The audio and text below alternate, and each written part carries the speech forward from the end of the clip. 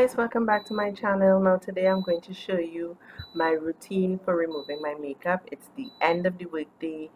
It's 5 no well it's 603 here in Trinidad Tobago and it's time for me to get this makeup off my skin. Now we're going to go through the routine everything I use or the products I use to remove the makeup. And yeah so let's just get straight into this video. Now the first thing I do when removing my makeup, I use my Neutrogena makeup remover cleansing towelettes. Now this has worked really well for me. It's um, a new product that I use. Before I used to just wash the makeup off my face, but then I have found that it leaves the darkness. So you see how I highlighted under my eyes with um, dark with my pencil. Um, getting that off is difficult. So I'm going to use one of the towelettes, towelettes and use it so I wipe it. Sometimes in a circular, motion, doesn't really matter, to start the first step of removing the makeup. So, yeah.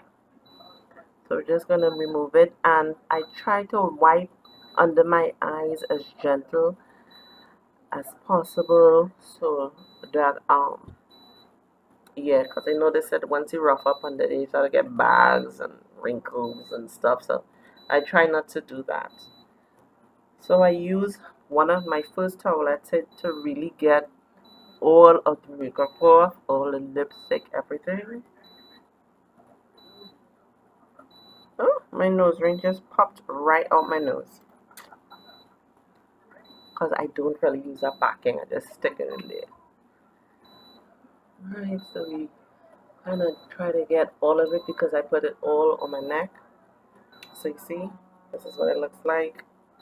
Yeah.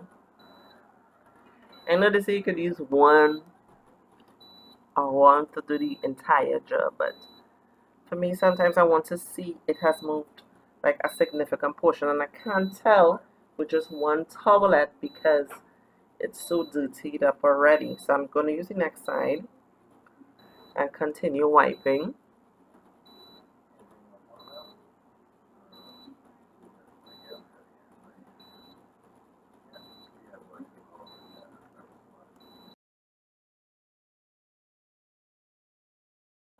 So I'm going to use a second towelette.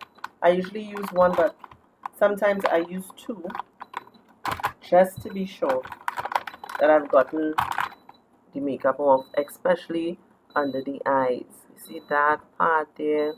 That stains under my eyes and have it looking really dark. Look. See? I'm still taking it off. It's still coming off.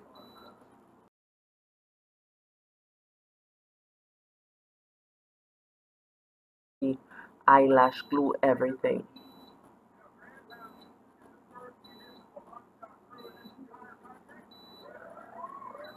I know you're hearing that hush hush thing that see? I like that show it's so sad. I always cry when I watch it during why it's just uh, see? Look and one towelette and this is the second one and I'm still removing product from my skin. So I see the importance of using the second one just to be sure you've get not a significant amount of your face even though they say washing it may get all off no that's not true. I'm passing it again and then I'm going to go to this thing to try and get it off. So the second product I usually use would be my Biore face wash. So here we're going into it. And now I'm going to use my Biore charcoal face wash. I love this thing. I swear by it because you see I don't really have any pimples or anything. And this is a product I swear by. And I also use as my facial scrub trusty old baking soda.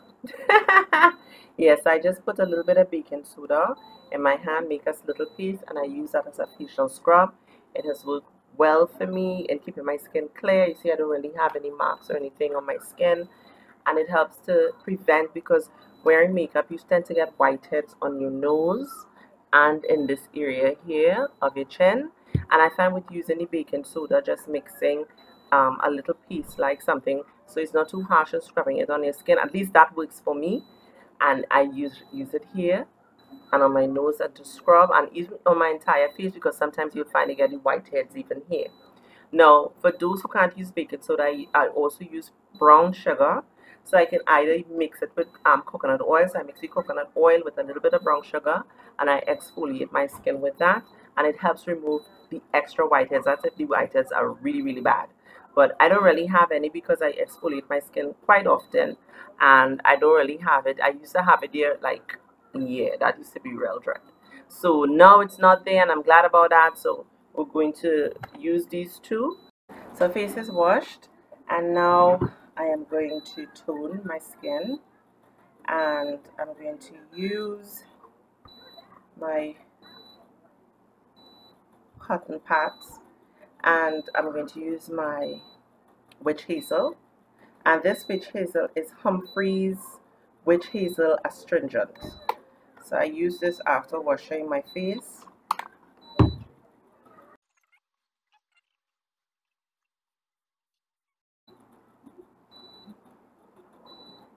And then I go in with my Neutrogena.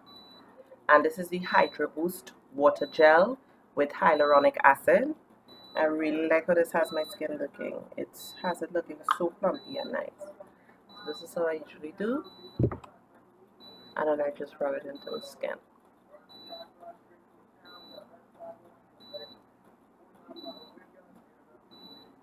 And then allow it to dry down and dry into the skin. Yeah. Right. And finally I go in with my virgin coconut oil.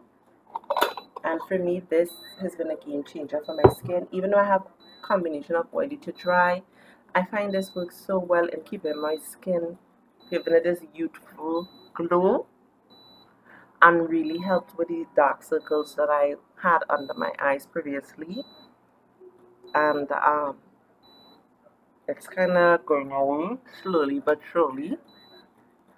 But yes and this is how I kind of worked it into the skin kind of worked it into the skin to the corners of the nose under the eye